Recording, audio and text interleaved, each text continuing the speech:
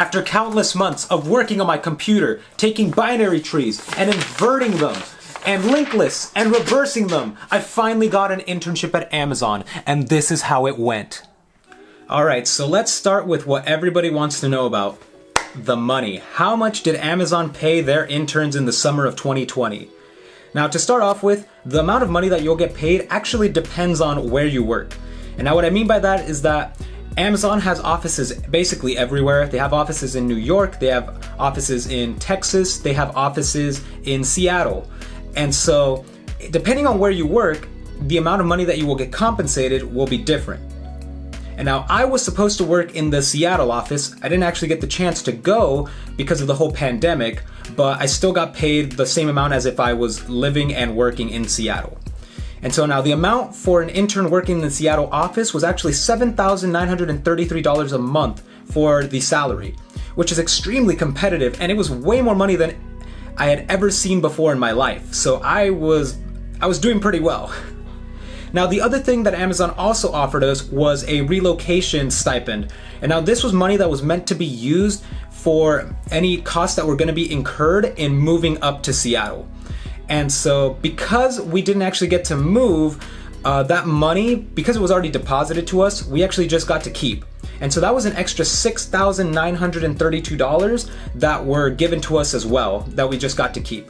Aside from the salary and the relocation stipend, Amazon also gave us a couple of other things. So they gave us $75 to use at the Amazon store, uh, which was essentially a, like a merch shop where you could buy t shirts, uh, mugs, different kinds of clothing. Uh, it was a bunch of like Amazon themed stuff. I think I got a couple shirts and a little bento box for my girlfriend. So it was pretty nice stuff.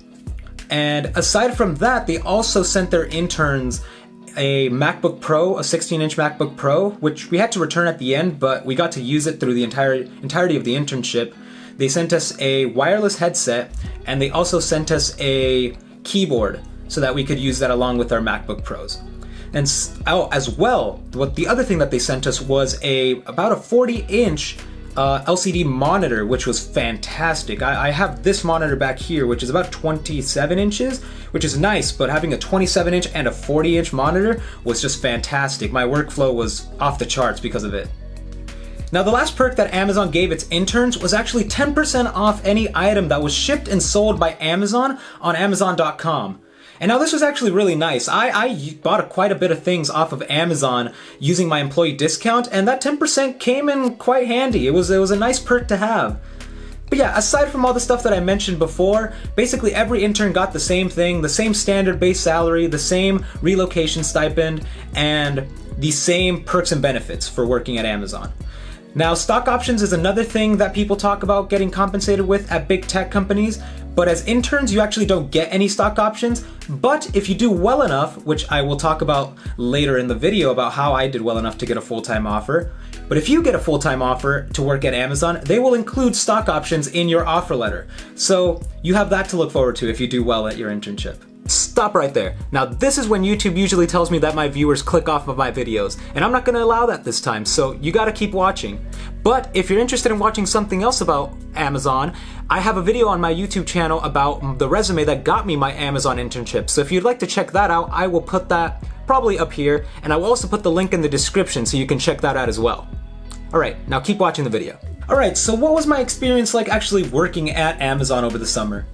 So the first thing that I actually had to do was meet up with my manager and my mentor for the summer, and those meetings were about two to one month before my internship actually started. And this was basically just for me to get to know what team I, would be working on, the kind of things that I could maybe study, and kind of get familiar with before actually starting at the internship, and also just getting to know my mentor, my manager, who I'd be working with for the next three months. And now, the actual application that I worked on during my internship was called Amazon FreeTime, and I believe now it's called Amazon Kids.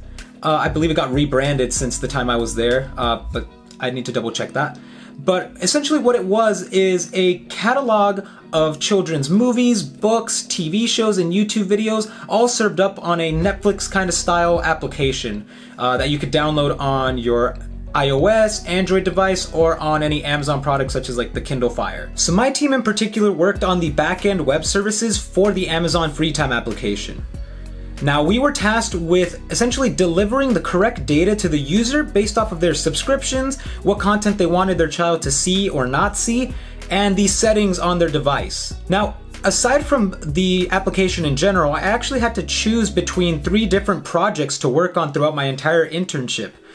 And now all three of them were fairly interesting and they all involve very different things, but in the end, I ended up deciding on essentially adding a new row of content to the Amazon FreeTime application. Now, this row would act similar to Netflix's Watch Next row, where we would essentially tell the user or give to the user content that they hadn't finished watching just yet that we wanted them to continue watching or to finish watching. And now Netflix's version of this involves a lot of more of like machine learning recommendation kind of algorithms to give that information to the user, but ours was meant to be a lot simpler since it's kind of geared towards children. We just wanted essentially if content was not finished, we wanted the child to be able to see that so that they can continue watching and they didn't necessarily have to surf through the application a second time or a third time uh, to find content that they were watching before. Now, in order to complete this project, I actually had to work extensively with my team, my manager, and my mentor. And I met up with them fairly regularly. Now, basically, every Amazon engineer is gonna have to have a stand up meeting every single day with their team. And these are meant to be 15 minute meetings just to catch up on what each person is working on.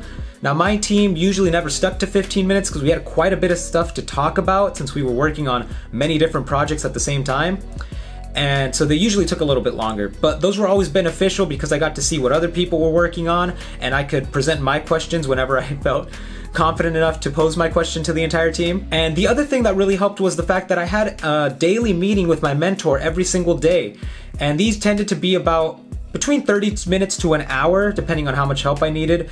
And yeah, I could talk to my mentor basically about anything about my project, some struggles that I was having, if I had any questions, or just uh, for some guidance if I needed some help. Now, another thing that I also had was a meeting twice a week with my manager just to talk about more of the interpersonal parts of my internship, working with my team members, my relationship with different members. Um, if I needed any help just understanding the culture, understanding more about the team and how the team worked. And yeah, and if I just needed any more kind of personal help. Now, one thing that I actually didn't expect from the projects, all of them sounded fairly simple and like like most coding projects, you go in thinking this this is a very simple idea. I could get this done with plenty of time to spare. Uh, but really, right away, you see why it takes a team to develop and keep these applications up to date. There is a lot of logic and a lot of organization and a lot of thought that's been put into how the application works and how to get data from one point to another.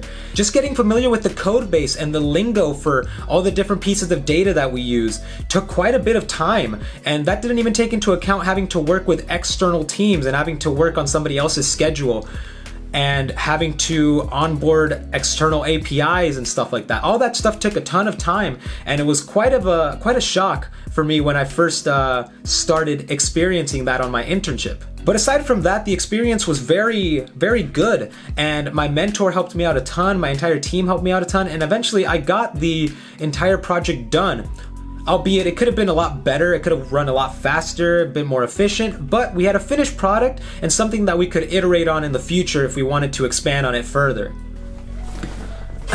Alright, quick wardrobe change. Now, the last thing I'm going to talk about is two things that I think I did really well in during my internship that actually helped me to secure my full time offer to go back and work at Amazon.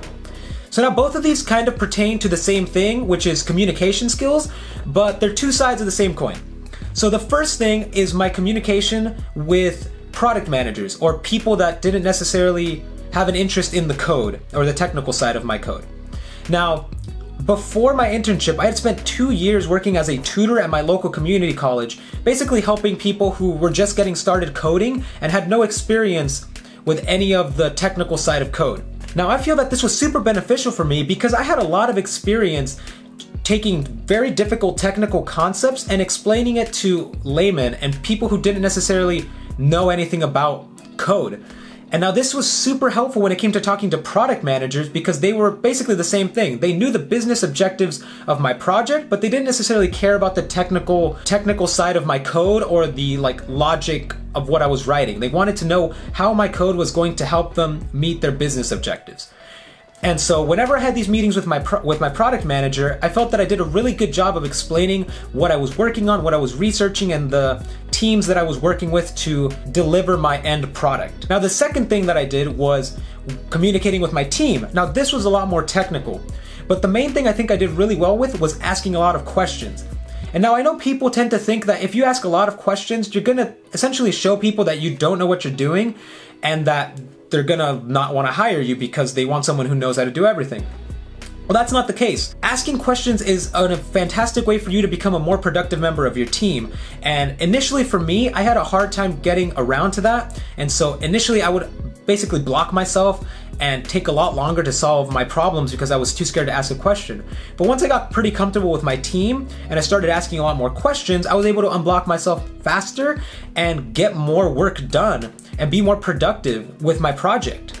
And so I think that was one thing that my team really liked about me was that I just was eventually just not scared to ask questions and I was more concerned with unblocking myself and being able to move on to the next thing instead of having to sit with myself just trying to figure it out myself and not unblocking myself. Alright, so that's it for today's video. If you enjoyed listening to me talk about my Amazon internship experience, please make sure to smash that like button and subscribe to my YouTube channel. I'll be putting out a lot more fun content this year, so you have that to look forward to. If you'd like to learn more about the resume that actually got me into this internship at Amazon, I'll have a link in the description for that video. Please make sure to smash the like button on that one as well. And yeah, I will see you guys next week for my next video. See ya!